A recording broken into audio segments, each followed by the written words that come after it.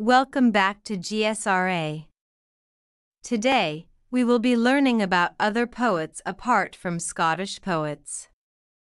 If you haven't watched the previous videos on poets from the period between Chaucer to Spenser, make sure to watch those as well, because it will give you an overall idea about the poets of this period. You can find the links to those videos in the description below. Without further delay, we'll jump straight into today's topic. The poet that we'll learn today is Thomas Occleve. His period is between 1368 and 1450. Now, let's look into his works. The first work is The Regement of Princes.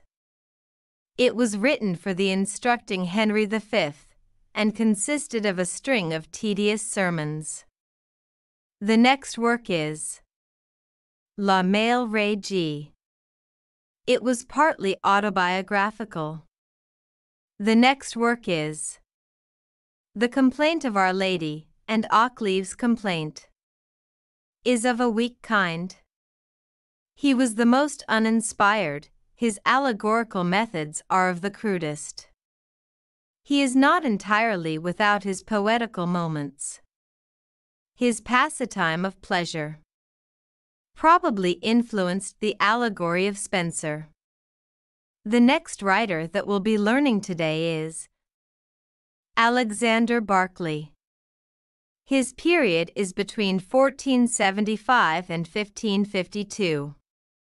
His first work is Ship of Fools. It was a translation of German work by Sebastian Brant, representing a newer type of allegory. The figures in the poem are not the usual wooden creatures, representing the common vices and virtues, but they are sharply satirical portraits of the various kinds of foolish men. Certain Eclogues, another of Barclay's works, is the earliest English collection of pastorals.